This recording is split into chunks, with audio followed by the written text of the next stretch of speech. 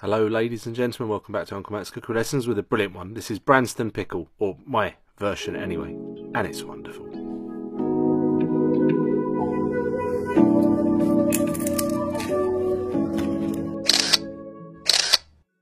Hello, in this video I'm going to be having a go at making my version of this stuff, Branston pickle. Much beloved in the UK. If you're from anywhere else, you may not have heard of it. It's, it's basically a chutney. Um, goes wonderfully with cheese. So a cheese and pickle sarnie, which is a sandwich, is, is just incredibly popular in the UK. And um, yeah, I think you're going to really like this one. All right, there's the ingredients, uh, looking nice. And I'm going to be preparing the vegetables. Um, I'll put two recipes in the description. One is exactly the one I've done. It's more for those people trying to reduce their calories, sugar and carbs and things. And a more regular one so you can choose which one you want.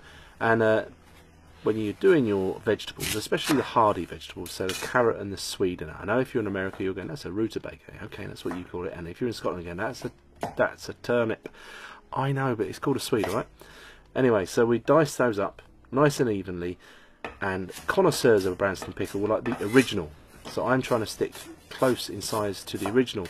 There is an abomination you can buy now, which is a really finely chopped up one, which will go. Apparently, it's easier to put in a sandwich, but it's an abomination.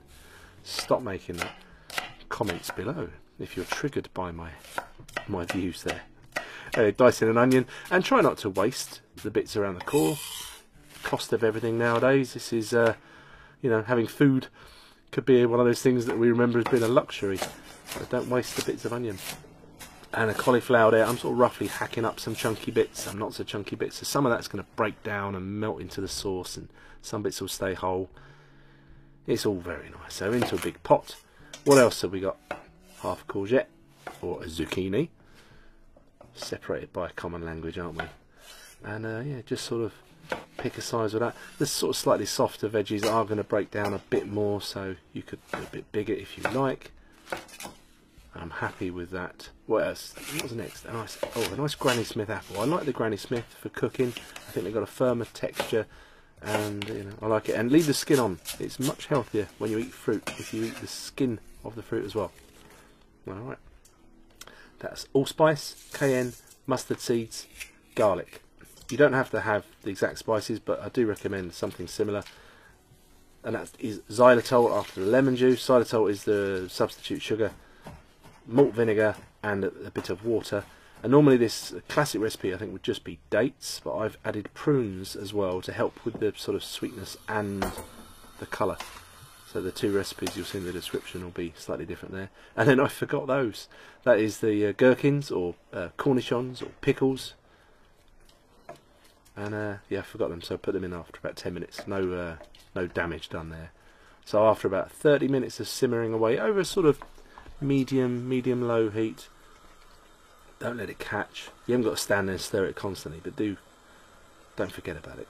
And so after an hour or so, I think we're just about there. Time to season. Now remember this: when you season something that's going to be eaten cold, when it's hot, it you'll need to almost over season it if you like, because you'll be able to taste that more when it's hot than when it's cold. I have to explain that reasonably well. Sterilising the jars I've chosen with some boiling water straight from the kettle, and yeah, we're there. We're good. That's a handy little contraption I bought a little while ago because I do like to make preserves and things like that and it makes a much tidier job of getting it from the pot into the jars. And just, yeah, just tap that down a bit, feeling very pleased with yourself. A little bit of waxy paper on the top to help preserve it again.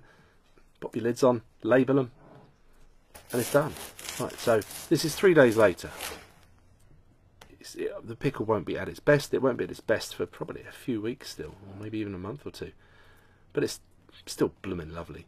So there we go. This is the mystical cheese and pickle sarnie, something that Crosse and Blackwell improved on in 1922 when they invented this thing called Branston pickle. And look at that. Yeah, over to me. Tasting. So I've had, I've been enjoying my sandwich here. I just want to try the pickle on its own.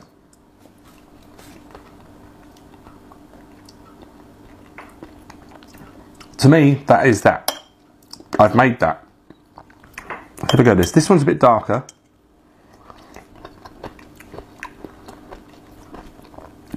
The vegetable pieces are crunchier. So they're obviously not cooking theirs for as long as I cooked that one for, but I really like that one. Um, I really like that one as well. Although for me now, my taste, my palate is too sweet because you know I hardly have any sugar. I've almost completely tried to eradicate it from my diet. I'm not claiming that this is keto friendly because it does have the, the xylitol, which does have is something like 40% of the calories or the sugar that normal sugar has. So it does still have sugar.